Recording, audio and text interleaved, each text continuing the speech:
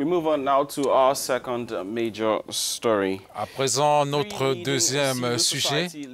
Trois leaders de la société civile en Niger ont été inculpés et puis écroués en prison pour des manifestations de violence, d'après les autorités. Ces trois leaders de l'opposition, ces trois leaders de la société civile nigérienne protestaient en effet contre la loi des finances de cette année qualifiée d'antisociale? of Information, Communication and Energy Technologies, ACTICE, to whom the authorization of the rally had been officially issued. Et puis cette euh, dénonciation de la loi de finances 2018 est perçue par les autorités euh, comme une instrumentalisation de politique de la part de certains euh, opposants. Le ministre nigérien de l'Intérieur a en effet accusé le mouvement démocratique nigérien, le Modène, le parti de l'ex-premier ministre et opposant Ama Amadou, d'être derrière la manifestation et d'être tenté par le modèle insurrectionnel au Burkina Faso voisin pour accéder au pouvoir. Le modèle a démenti ces accusations et ses responsables se sont dit profondément choqués de cette stigmatisation.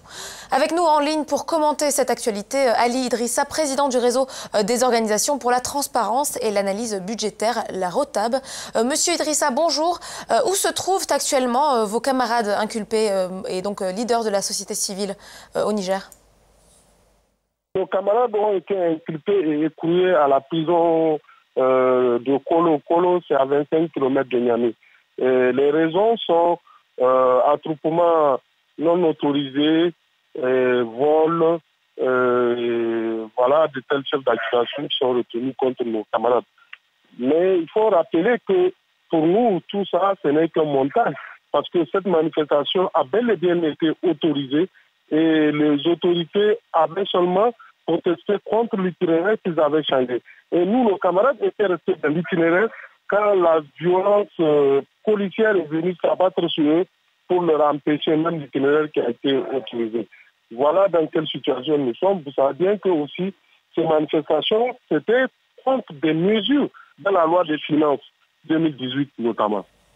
Alors justement, Ali Idrissa, à l'origine de cette résurgence des tensions sociales au Niger, euh, cette loi de finances 2018 qui est très controversée, très contestée euh, dans le pays, concrètement, vous, que reprochez-vous à ce nouveau budget? Le Niger est le pays le plus pauvre au monde. Nous, on ne peut pas comprendre que le Niger puisse se permettre d'avoir une quarantaine de ministres, euh, exactement 43 ministres dans le gouvernement, et autant de ministres conseillers à la présidente de la République. On ne peut pas comprendre que le Niger puisse se permettre d'avoir des centaines et des centaines de chargés de mission, de conseillers spéciaux et autres à la primature, à la présidente de l'Assemblée nationale et à la présidence. Voilà pour nous, il est aujourd'hui que le gouvernement de vouloir chercher l'argent avec les pauvres en taxant les produits de première nécessité, notamment la farine de blé et autres, qui rendra la vie plus chère. Et en rehaussant les prix de l'énergie électrique, qui, c'est sûr, rendra la vie plus chère.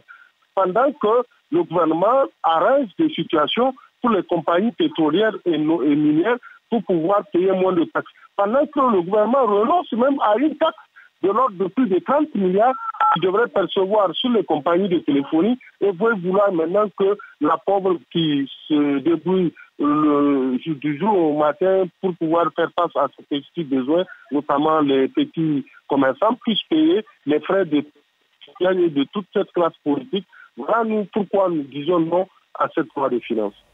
Mais alors justement, Ali Idrissa, le dégraissage que vous appelez euh, de tous euh, vos voeux est censé permettre de financer les besoins sécuritaires?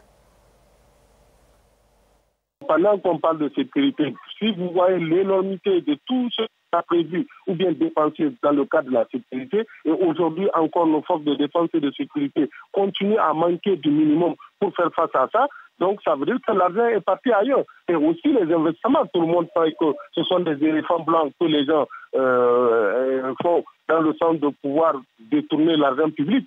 Et donc il n'y a aucun investissement dans les secteurs prioritaires de base. Aujourd'hui, l'école nigérienne publique est à terre, madame. Ça fait combien de jours qu'ils ont, comme depuis le mois d'octobre, la reprise académique, mais jusqu'aujourd'hui, il y a des, écoles qui n'ont pas pu encore avoir leur rentrée scolaire. Les centres de santé manquent du minimum. Donc pour nous, il y a bel et bien de l'argent dans ce pays, mais mal investi. Et pour nous, c'est à tout ça là qu'il faut pouvoir mettre fin pour que notre pays soit bien géré, donc qu'on parle de gouvernance dans notre pays.